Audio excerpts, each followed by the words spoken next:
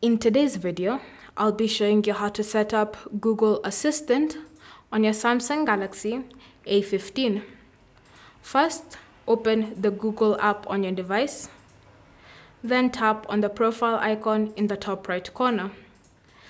Select Settings from the menu that appears, and in your Settings menu, look for the option Google Assistant. Tap on that.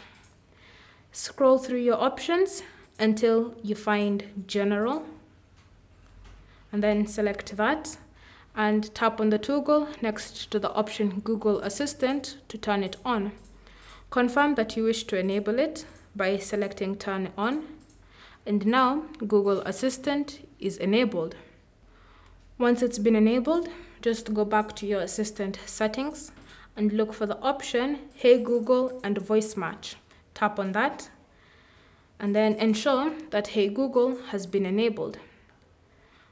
So once it's been enabled, you'll have to train your device to recognize your voice. So read through this and tap on I agree. Then read through this again, detailing the option, what voice match is about. Select I agree. And then follow the instructions and see the phrases that appear on your screen. For example, Okay, Google, what's the weather tomorrow? Another phrase will appear. Okay, Google, set a timer for five minutes. Hey, Google, make a call. Hey, Google, remind me to water my plants every Monday.